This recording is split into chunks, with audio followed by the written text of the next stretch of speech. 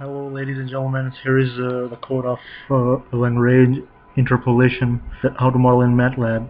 So for the instance we have this, this function LRange and uh, this function will be available uh, in the download uh, description so that you can download it and the file uh, will be lrange.m and you can put this file over here and then model it. So here is Lagrange interpolation question which says that here we have the values of x and here we have the value of values of f of x.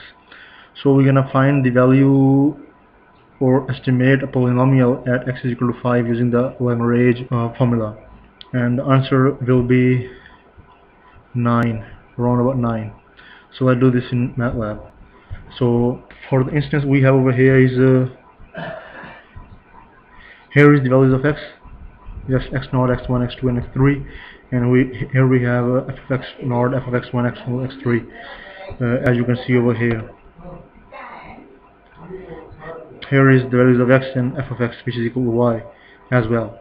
And you're gonna find it at the, at the point of 5 so just type this expression in MATLAB co uh, command and just hit enter and you will find the answer. Here the answer is 9.2 as you can see. And here is 9 here, here was the modeling of interpolation, Lagrange interpolation in MATLAB. Have a nice day. Take care. Bye.